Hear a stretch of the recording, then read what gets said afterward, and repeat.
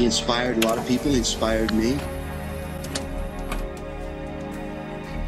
About the production value made you feel like you were playing a Hollywood action film. Afterwards, game makers started to lean more towards making games cinematic, towards making them more like movies. An intelligent and idiosyncratic Michael Bay movie as a game.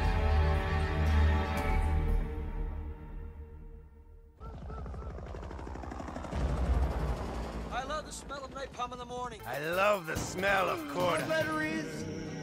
It's a bullet from a fucking gun, fucker. You receive a love letter from me, you're fucked forever. Well, I'm going to send you a love letter, my dear. Do you know what that is? It's a bullet straight from my gun to your heart. Snake, you're a hero, aren't you?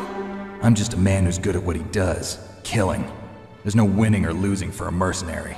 The only winners in war are the people. That's right, and you fight for the people. You're right. You're not my daughter. And I sure as hell ain't your dad.